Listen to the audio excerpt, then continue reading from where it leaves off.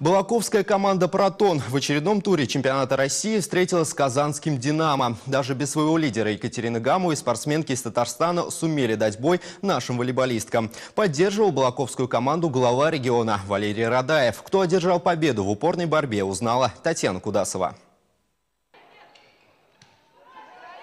В первых двух партиях саратовская команда уверенно обыгрывала соперников. И только к третьей волейболистки «Динамо» почти догнали «Протон». К концу тайма 2-1 в пользу хозяев поля. Посмотреть игру балаковцы пришли семьями. Сопровождала нашу команду их постоянная группа поддержки.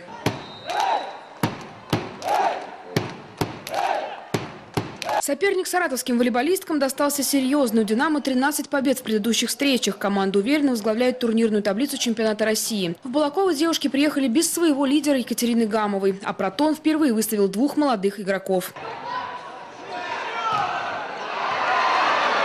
Губернатор Валерий Радаев внимательно следил за напряженной игрой. На протяжении двух часов команды сражались на равных, но «Динамо» все-таки вырвало победу у «Протона» и выиграл со счетом 15-13. Валерий Радаев отметил, что на Саратовской земле состоялся настоящий спортивный праздник. Сражались два достойных соперника. Конечно, лидер чемпионата «Динамо» Казань стал победителем.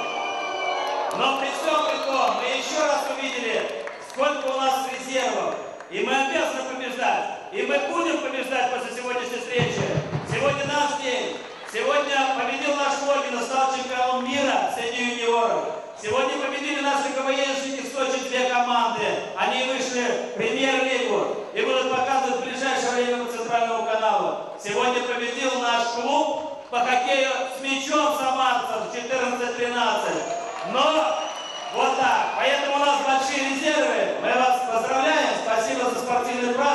Главный тренер саратовской команды игрой осталась довольна. Этот сезон для спортсменок складывается очень сложно. Но несмотря на тяжелые травмы, «Протон» не сдается и стремится попасть на высшую точку турнирной таблицы. Интрига, будем говорить, у нас сохранялась до конца игры. Э, я надеюсь, что мы будем прибавлять, так как у нас впереди соперники очень важные на выезде, где надо бороться и брать очки. После матча губернатор вручил всем участникам команд подарки и поблагодарил болельщиков саратовского «Протона». Татьяна Кудасова, Кирилл Логинов, Вести, Саратов.